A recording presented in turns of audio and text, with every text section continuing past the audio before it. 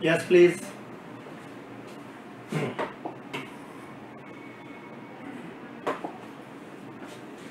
some important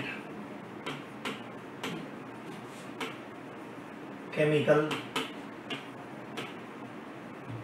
reactions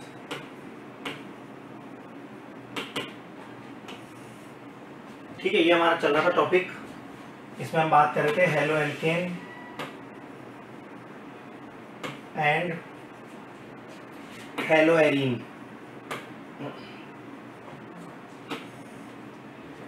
ठीक है, आज हमारी रिएक्शन है Friedel Crafts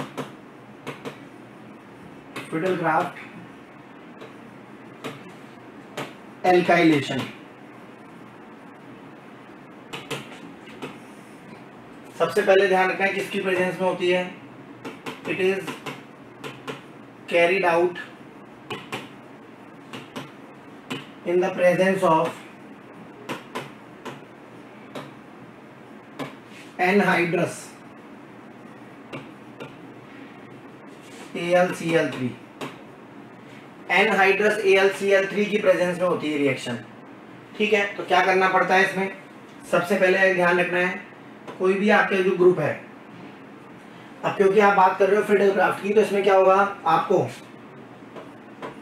बेंजीन की रिएक्शन बेंजीन है ये हमारे पास, ठीक है? और इस बेंजीन की रिएक्शन किससे करानी पड़ेगी हमें? आर एक्स के साथ। ठीक है? एल्काइल हेलाइड के साथ करानी पड़ेगी। किसकी प्रेजेंस में? In the presence of anhydrous L C L three क्या मिलेगा आपको? एल्काइल बेंजीन साथ में क्या मिलेगा? एच एक्स साथ में क्या मिल जाएगा? एच एक्स मिल जाएगा। ठीक है? तो ये ध्यान रखना है हमें। तो अब अभी आप क्या कर सकते हैं हम? अब जैसे मान लो हमने रिएक्शन कराई। ठीक है? अब आप यहाँ पर ये भी करा सकते हो। तो एल्काइल बेंजीन मिल जाएगा ठीक है? बेंजीन की अगर कराते हो तो। हेलो एल्किन की कराते हो अगर तो हेलो एल्किन में क्या करना पड़ेगा? तो यहाँ पर आपको एक्स ग्रुप लेना पड़ेगा। इसकी रिएक्शन करानी पड़ेगी आर एक्स के साथ। तो क्या बनेगा? Anhydrous L C L three के साथ। तो आपके पास बन जाएगा एक बार और तो और एक बार पैरा। तो यहाँ पर एक बार तो आर ग्रुप आ जाएगा यहाँ पर और एक बार आ जाएगा पैरा पोजीशन पर। पैरा पोजीशन पे आ जाएगा ठीक है? तो ये आपको ध्यान रखना है। ठीक है? तो जैसे हमने रिएक्शन कराई तो ये हमारे पास क्या हो गया? हेलो एरिन तो हेलो एरिन ये हमारे पास है हेलो एरिन इसकी रिएक्शन कराई हमने एल्काइल हेलाइड के साथ। क्या बना हमारे पास? तो हमारे पास बना सिंपल सा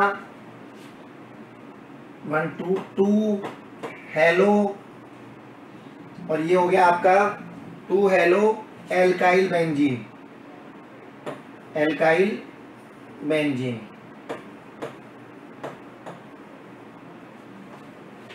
ये फोर पे आ जाएगा फोर हेलो हेलो एरिन ठीक है हेलो एरिन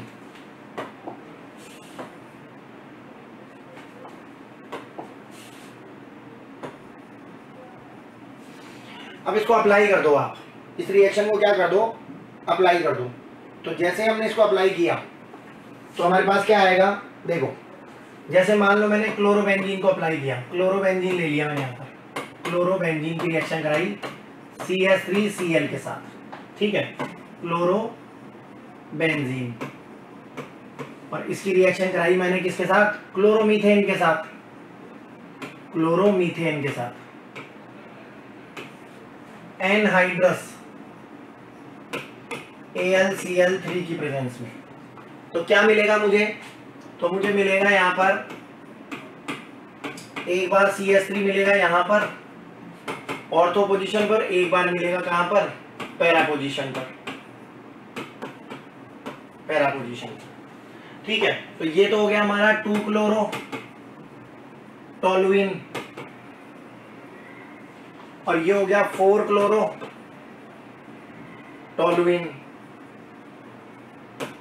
ठीक है? तो ये हमें ध्यान रखना है, हमारे पास दो प्रोडक्ट बनेंगे, एक बनेगा ऑर्थो और एक बनेगा पैरा।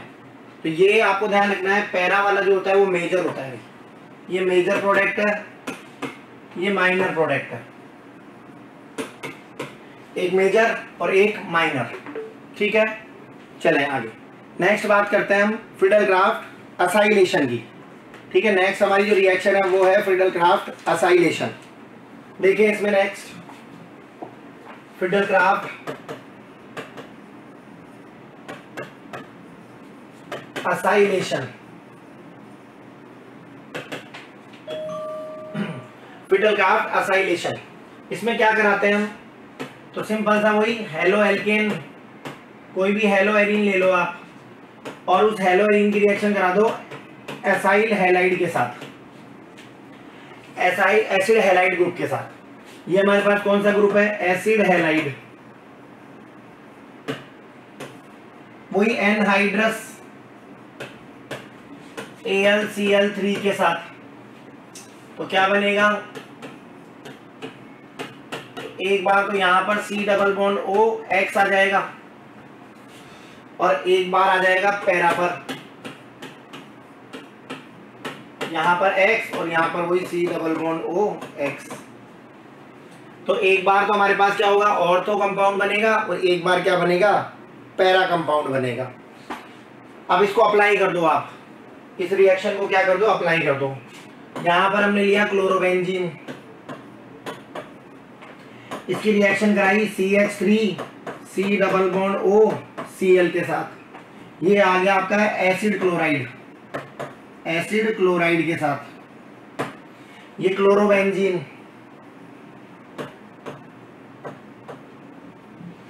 क्लोरोबेंजीन की रिएक्शन कराई किसके साथ? एसिड क्लोराइड के साथ। एनहाइड्रस थ्री की प्रेजेंस में। क्या बनेगा? तो एक बार तो बनेगा वही एल और यहाँ पर आएगा C double bond O C L.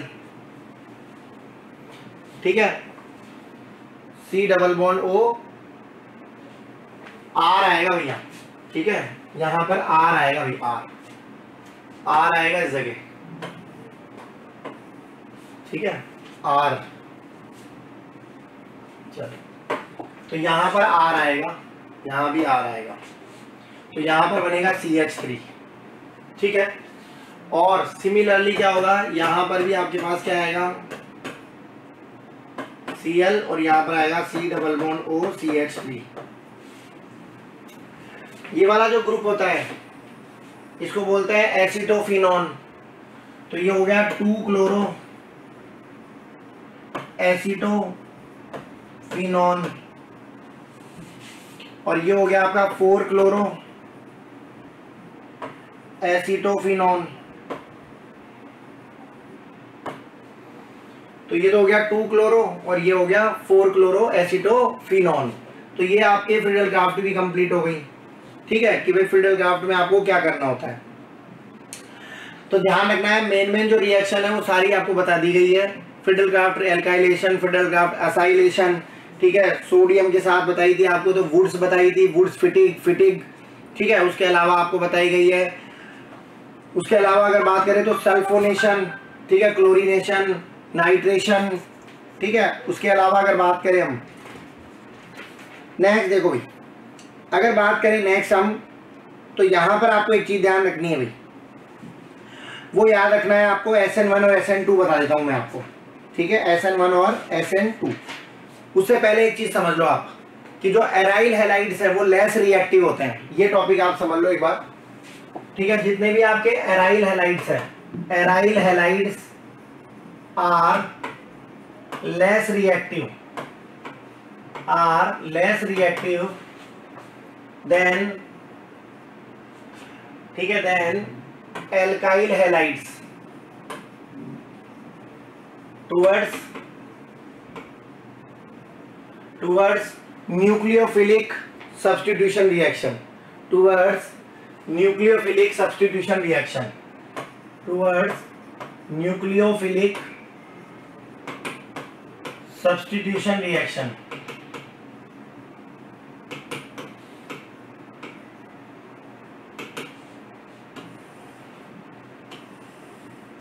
अब इसके आपको रीजंस बताने हैं भाई। ऐसा क्यों होता है कि जो आपका एराइल हेलाइड है, वो कम रिएक्टिव होता है और एल्काइल हेलाइड ज़्यादा रिएक्टिव होता है। तो इसके आपके जो है अलग अलग रीजन है। पहला रीजन क्या है? पहला जो रीजन है, सबसे पहला रीजन है वो है withdrawal of electrons by benzene and stabilization by resonance तो पहला जो रीजन है, वो क्या है? Withdrawal of withdrawal of electrons by benzene benzene क्या करता है? इलेक्ट्रॉन्स विड्रॉ कर लेता है. एंड स्टेबलाइजेशन बाय रेजोनेंस और वो रेजोनेंस स्टेबलाइज हो जाता है. And stabilization by resonance and stabilization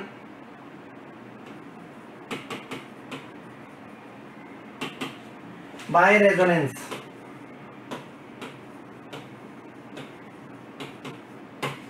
तो पहला पॉइंट आपको ध्यान रखना है कि जो आपका बेंजीन है, ठीक है, वो आप देखना हो, अगर उसके ऊपर हेलोजन ग्रुप लगा होता है, ठीक है तो वो क्या होता है? रेजोनेंस स्टेबलाइज होता है। बेंजीन क्या करता है? इलेक्ट्रॉन्स खींच लेता है, ठीक है? और जैसे ही वो इलेक्ट्रॉन्स खींचेगा, वैसे ही क्या हो जाएगा? वो रेजोनेंस स्टेबलाइज हो जाएगा। Sp2 हाइब्रिडाइजेशन स्टेट होता है उसका। ठीक है? तो ध्यान रखना है वो चीज़ हमें कि जो बेंजीन है, वो रेजोनेंस स्टेबलाइज्ड है। तो ध्यान रखिए, जैसे अगर हम बेंजीन अगर हम क्लोरोबेंजीन के क्या बनाए? रेजोनेंस स्ट्रक्चर बनाए। अगर मान लो मैं क्लोरोबेंजीन का क्या बनाऊँ? रेजोनेटिंग स्ट्रक्चर बनाऊँ। तो मुझे पता है सबसे पहले क्या होगा? यहाँ के इलेक्ट्रॉन यहाँ शिफ्ट होंगे, यहाँ वाले इलेक्ट्रॉन यहाँ शिफ्ट हो जाएँगे। तो सबसे पहला जो स्ट्रक्चर बनेगा, वो कुछ इस तरह से बनेगा। ठीक है? तो यहाँ पर जो है इलेक्ट्रॉन डेंसिटी ज़्यादा हो जाएगी। और उसके अलावा यहाँ पर पार्शली डबल बॉन्ड आ जाएगा। क्लोरीन जो है और कार्बन के बीच में क्या आ जाएगा? पार्शली डबल बॉन्ड तो ये भी आपको ध्यान रखना है कि पार्शली क्या आ जाएगा यहाँ पर? डबल बॉन्ड कैरेक्टर आ जाएगा। और क्लोरीन जो है, इस क्लोरीन की बात करें अगर हम तो इस क्लोरीन पे कौन सा चार्ज आ जाएगा? पॉजिटिव चार्ज आ जाएगा। ठीक है? कौन सा चार्ज आ जाएगा यहाँ पर? पॉजिटिव चार्ज फिर दूसरी बात करें अगर हम तो यहाँ से फिर ये इलेक्ट्रॉन्स की शिफ्टिंग होगी और ये इलेक्ट्रॉन्स बाहर जाएँगे। तो अब आप देखोगे कि आपका जो नेक्स्ट स्ट्रक्चर बनने वाला है, वो कुछ इस तरह से बनेगा। यहाँ पर नेगेटिव यहाँ पर पार्शली डबल बॉन्ड और Cl और यहाँ पर दो इलेक्ट्रॉन पेयर और पॉजिटिव चार्ज उसके बाद में नेक्स्ट क्या होगा? तो नेक्स्ट आप देखोगे यहाँ से इलेक्ट्रॉन की शिफ्टिंग होगी और ये वाले इलेक्ट्रॉन बाहर चले जाएँगे। अब उसके बाद में क्या होने वाला है? तो यहाँ पर आप देखोगे इस तरह से बॉन्ड ये रेजोनेटिंग स्ट्रक्चर बन जाएगा।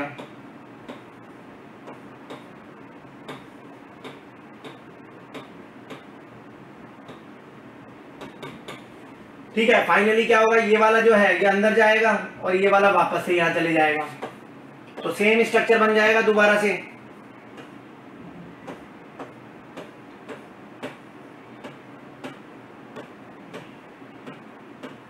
ठीक है? तो अब आप यहाँ देखोगे कि जो आपका स्ट्रक्चर नंबर सेकंड है। स्ट्रक्चर नंबर कौन सा? सेकंड स्ट्रक्चर नंबर थर्ड और स्ट्रक्चर नंबर कौन सा? फोर्थ यहाँ पर आप इनमें देखोगे तो आप क्या देखोगे इनमें? कि they all contains partially double bond character इनके अंदर क्या है? इनके अंदर पार्शली डबल बॉन्ड कैरेक्टर है। कार्बन और क्लोरीन के बीच में क्या है? Partially double bond character that is sp2 hybridized carbon है ठीक है तो ये ध्यान रखना है कि यहाँ पर बॉन्ड लेंथ क्या हो जाएगी? बॉन्ड लेंथ जो है वो शॉर्ट हो जाएगी और जब बॉन्ड लेंथ शॉर्ट हो जाएगी तो बॉन्ड को तोड़ना क्या हो जाएगा? ठीक है काफ़ी डिफ़िकल्ट हो जाएगा। सो so, पहला रीजन आपको ध्यान रखना है कि ये जो आपका क्लोरोबेंजीन है, ठीक है, ये रेजोनेंस स्टेबलाइज्ड है भाई, ठीक है? और ये बेंजीन क्या करती है? ये बेंजीन इलेक्ट्रॉन को विड्रॉ कर लेती है।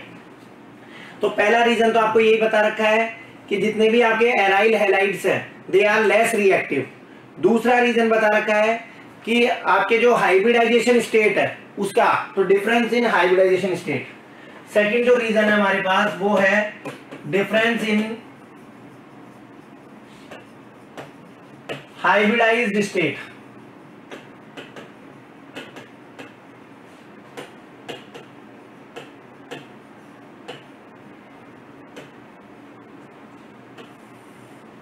difference in hybridize state of carbon तो सबसे पहले तो ध्यान रखना है कि जितने भी आपके एराइल हेलाइड्स हैं, इन एराइल हेलाइड्स कि जितने भी आपके एराइल हेलाइड्स हैं, इन एराइल हेलाइड्स कार्बन ठीक है is in sp2 hybridized state sp2 hybridized state carbon किस स्टेट में होता है? Sp2 हाइब्रिडाइज्ड स्टेट में होता है। ठीक है? तो यहाँ ध्यान रखना है कार्बन sp2 हाइब्रिडाइज्ड स्टेट में होगा और जब sp2 हाइब्रिडाइज्ड स्टेट में होगा तो वो साइज़ में छोटा होगा, उसमें s कैरेक्टर ज़्यादा होगा। ठीक है? तो ध्यान रखना है in aryl halides carbon is in sp2 hybridized state it contains more s character more s character and also and also smaller in size.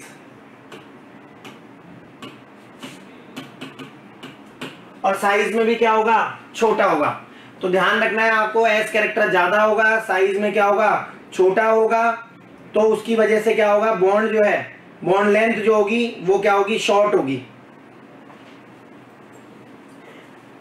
इसके बाद में बात करें तो इन एल्काइल हेलाइड्स एल्काइल हेलाइड्स के अंदर क्या होगा? इन एल्काइल हेलाइड्स जो कार्बन है, ठीक है इज़ इन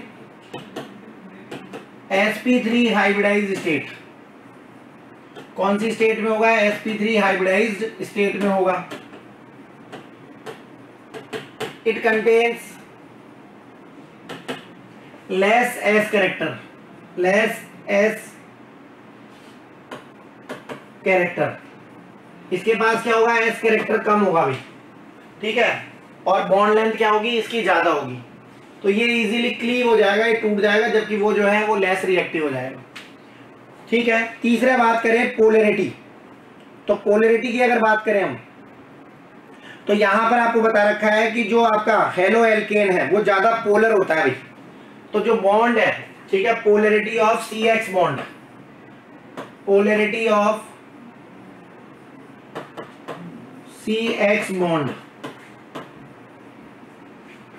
तीसरा जो रीजन है लेस रिएक्टिव होने का, वो क्या है? Polarity of C X bond तो यहाँ पर बता रखा है कि in haloalkanes, in haloalkanes C X जो बॉन्ड है C X bond is more polar as compared to as compared to C X bond of haloarene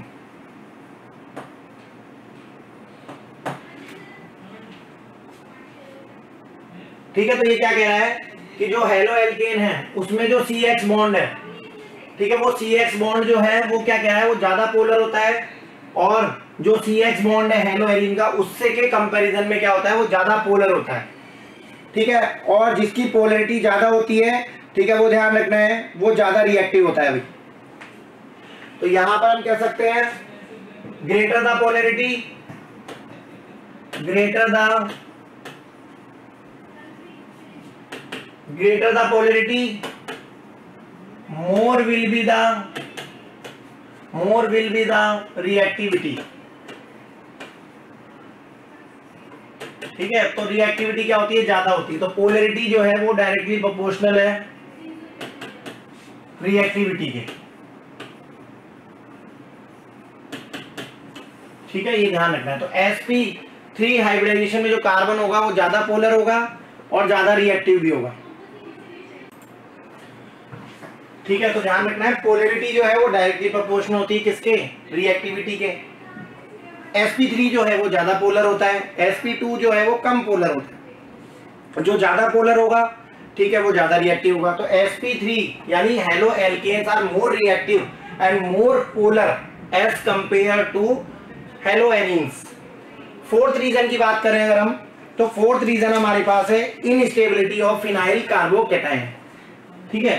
fourth जो हमारा रीजन है, वो है instability. Instability of phenyl carbocation.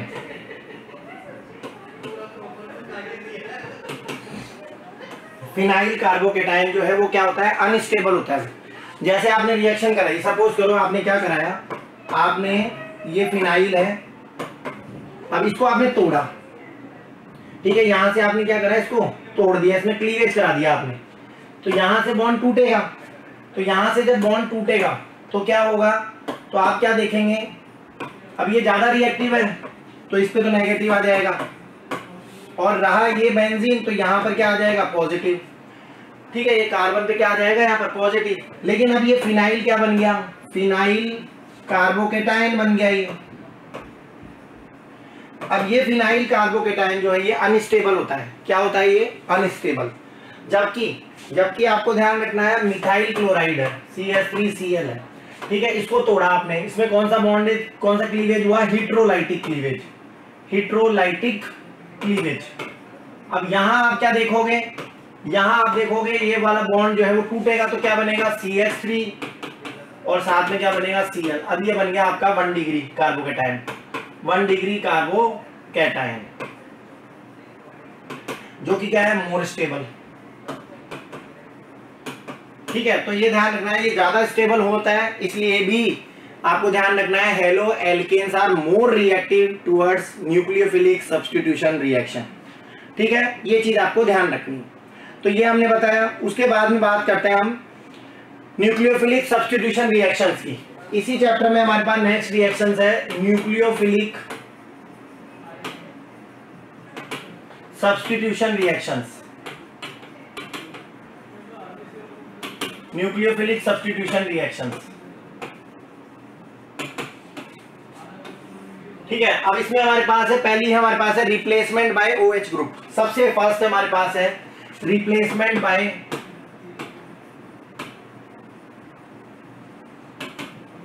OH group hydroxyl group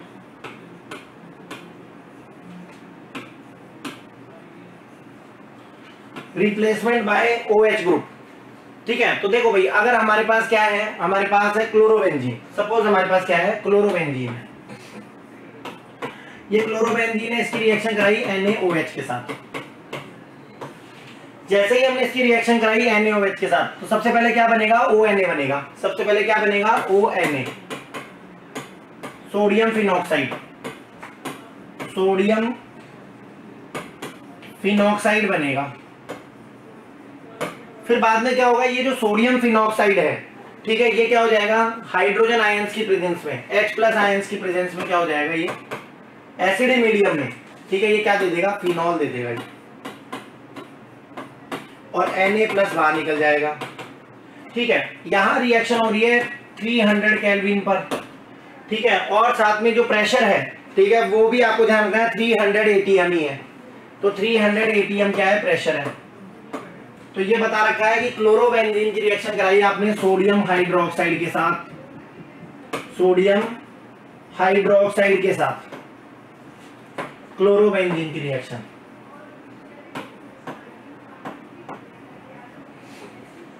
तो जैसे ही हमने क्लोरोबेंजीन की रिएक्शन कराई सोडियम हाइड्रोक्साइड के साथ तो सोडियम फिनोक्साइड बना, साथ में क्या इधर हो गया, पहले और उसके बाद में फिनॉल बन गया हमारे पास। ठीक है, क्या बन गया? फिनॉल। दूसरी बात करते हैं हम। अब इसी में आपको ध्यान रखना है, इलेक्ट्रॉन विड्रॉइंग ग्रुप अगर प्रेजेंट है तो जिसमें सबसे ज़्यादा इलेक्ट्रॉन विड्रॉइंग ग्रुप होंगे, उसकी रिएक्टिविटी सबसे ज़्यादा होगी। देखो, ध्यान रखना है, पहला जैसे हमने कहा, सबसे फ़र्स्ट हमने लिया NO2 ग्रुप है हमारे पास एक। फिर हमारे पास है NO2 ग्रुप है दो।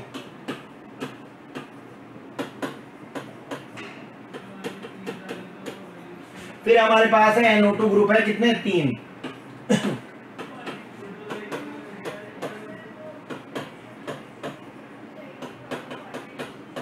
तीन। ठीक है?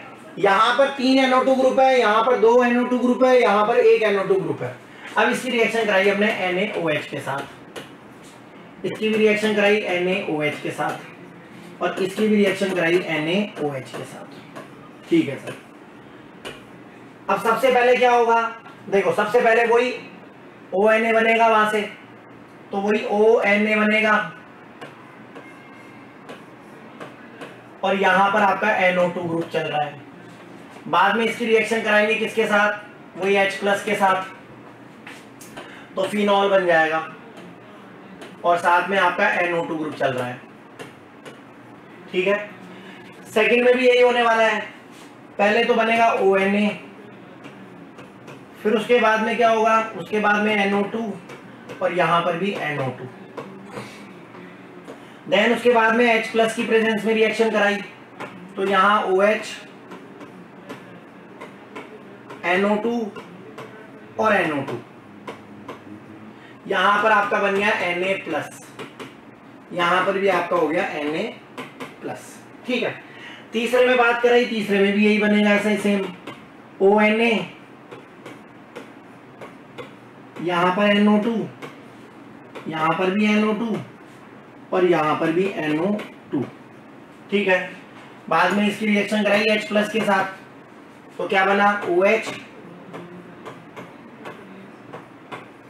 NO2 NO2 और NO2 साथ में बना Na प्लस ठीक है? अब हमने क्या देखा? इन तीनों में से सबसे ज़्यादा रिएक्टिव कौन है? तो सबसे ज़्यादा रिएक्टिव है पिक्रिक एसिड इसको पिक्रिक एसिड बोलते हैं हम। क्या बोलते हैं? पिक्रिक एसिड तो इसका नाम क्या है? इसका नाम तो है फोर नाइट्रोफिनॉल इसका नाम है two comma four die nitrophenol ठीक है? इसका नाम है two comma four comma six trinitrophenol जिसको हम बोलते हैं पिक्रिक एसिड पिक्रिक एसिड अब यहाँ पर ये कह रहा है कि सबसे ज़्यादा रिएक्टिव कौन होगा, जिसमें सबसे ज़्यादा नंबर में इलेक्ट्रॉन विड्रॉइंग ग्रुप होंगे। तो ये क्या कह रहा है? As the number of electron withdrawing group electron withdrawing group as the number of electron withdrawing group increases reactivity also increases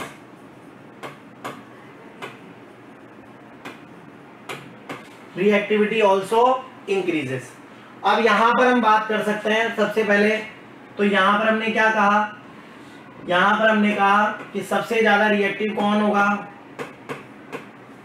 तो सबसे ज़्यादा रिएक्टिव होगा हमारे पास पिक्रिक एसिड ठीक है, उसके बाद में रिएक्टिव कौन होगा? जिसमें number of react reacting species या विड्रॉइंग ग्रुप कितने होंगे? दो होंगे। फिर उसके बाद में कौन होगा? जिसमें एक ही विड्रॉइंग ग्रुप होगा। ठीक है तो यहाँ से हम क्या कह सकते हैं? कि number of electron withdrawing group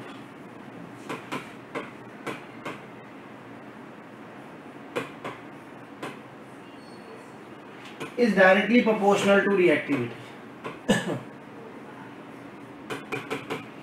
किसके डायरेक्टली प्रोपोर्शनल होंगे वो? रिएक्टिविटी ठीक है? ये आपको ध्यान रखना है। ठीक है? उसके बाद में नेक्स्ट बात करते हैं हम। Replacement by cyano group replacement by cyano group replacement by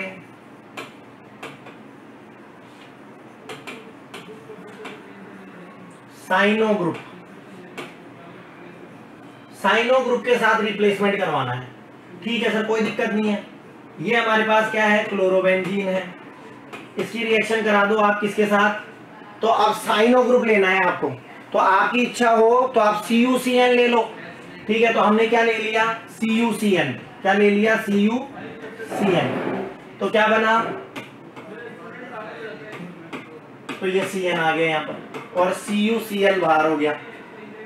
ये बन गया आपका फिनाइल साइनाइड। फिनाइल साइनाइड बन गया ये।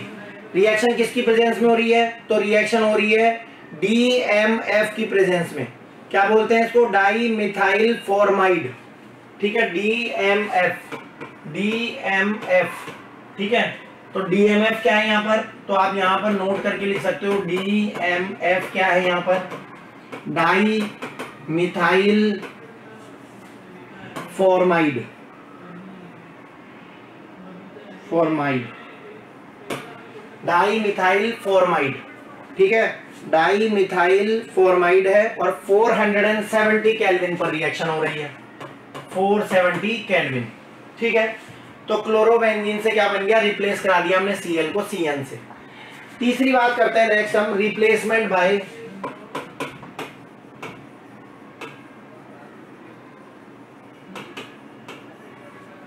ठीक है? रिप्लेसमेंट कराना है हमें किसके साथ? अमीनो ग्रुप के साथ। Replacement by amino group replacement by amino group इसमें क्या करेंगे हम? तो बहुत इजी है, कोई दिक्कत नहीं है क्लोरोबेंजीन लेंगे, उसकी रिएक्शन NH3 से करा देंगे। ये हमारे पास क्या है? क्लोरोबेंजीन इसकी रिएक्शन करा दो NH3 के साथ। ठीक है, किसकी प्रेजेंस में? तो कॉपर ऑक्साइड की प्रेजेंस में कराना है। ठीक है तो कॉपर ऑक्साइड की प्रेजेंस में रिएक्शन करा दो Cu2O के साथ। तो क्या बनेगा? तो आप देखेंगे अमीनो बेंजीन बन जाएगा, एनिलीन जिसको बोलते हैं हम।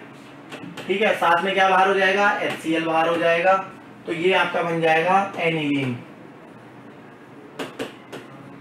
ठीक है? तो ये आपकी रिप्लेसमेंट रिएक्शंस भी कंप्लीट हो गई। ठीक है? चलो। तो यहाँ तक आपको अच्छे से कंप्लीटली ध्यान रखना है। तो हमने बताया, देखो, हमने क्या क्या बताया? सबसे पहले मैंने आपको बताया फिडल क्राफ्ट एल्काइलेशन ठीक है? उसके बाद में नेक्स्ट हमने बताया फिडल क्राफ्ट एल्काइलेशन के बाद में फिडल क्राफ्ट असाइलेशन ठीक है? उसके बाद में हमने बताया नेक्स्ट कि जो एराइल हेलाइट्स हैं they are less reactive than haloalkanes उसके रीजंस बताए, पहला बताया reason withdrawal of electron by benzene and stabilization by resonance दूसरा हमने रीजन बताया difference in hybridize state of carbon तीसरा हमने बताया polarity of C X bond चौथा हमने बताया इनस्टेबिलिटी ऑफ़ फिनाइल कार्बोकेटाइन उसके बाद में बात करी नेक्स्ट हमने तो न्यूक्लियोफिलिक सब्सटीट्यूशन में पहला बताया रिप्लेसमेंट बाय हाइड्रोक्सिल ग्रुप दूसरा हमने बताया, ठीक है रिप्लेसमेंट बाय साइनो ग्रुप तीसरा हमने बताया रिप्लेसमेंट बाय अमीनो ग्रुप ठीक है, इसके बाद में नेक्स्ट हम एस एन वन और एस एन टू बताएँगे, जो हमारा नेक्स्ट लेक्चर होगा उसमें। Okay thank you